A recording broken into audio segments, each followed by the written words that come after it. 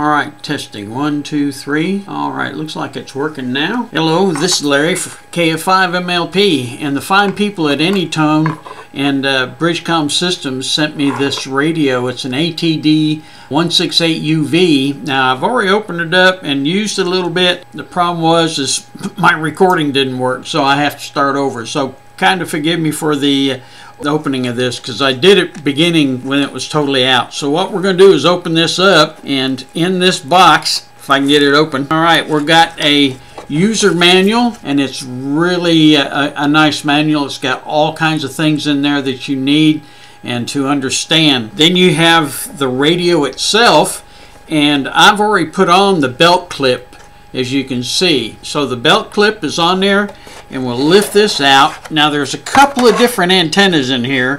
One of the antennas is a real long one and this is a nice antenna. Okay, this is a nice antenna. It's a little bent from being in the box, but it's a beautiful antenna.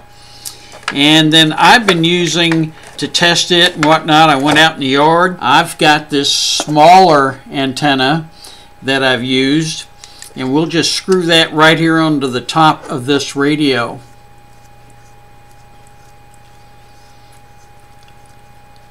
Now this also has a drop-in charger. This drop-in charges with a USB-A to USB-C and it's really a nice uh, charger. Now this is the, the wires that come with it or the cable uh, there's the USB-C and there's the A. So this is really nice. You can plug this into the back of here and charge it up and you can charge up the battery on it. It's got its own wall wart.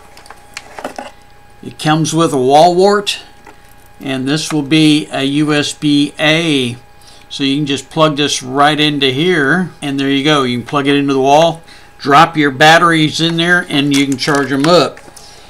This has got two batteries. This has a 2600 milliamp battery and it has a 1800 milliamp battery.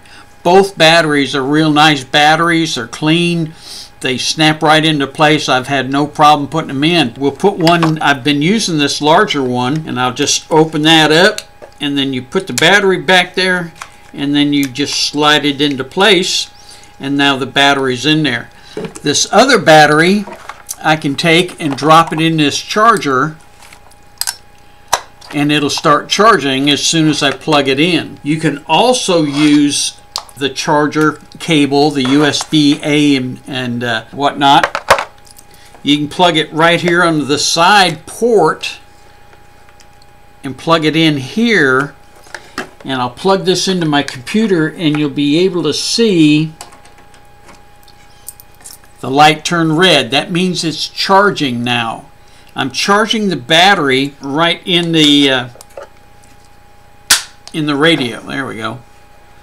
I'm charging the battery while it's on the radio. I can turn it on and it goes out and now it's booting up. I don't know if you can see that or not. There's my call sign. I've programmed it. I've put in all the call signs. I put in my code plug, uh, updated the firmware. It's a really a nice radio. So now we're going to unplug this. We'll close this side cap. Okay. And I don't know if you can hear it. Let's see if anybody comes on here. This is uh, 3100 that's talking. Now this is a real nice radio. It has quite a few features in it, just like the 878 UV2 Plus, and this is my UV2 Plus, and it is a great radio. It's just this one does not have as many features as this one. For instance, it does not have GPS and it doesn't have Bluetooth, for instance, but it does have quite a few others. As you notice, the screen. KY4 BPA listening. Okay, the screen is a little bit, some of the icons aren't there that you get with the 878 UV2 Plus. But this is a nice, nice radio and I recommend it to anybody that wants to get a radio.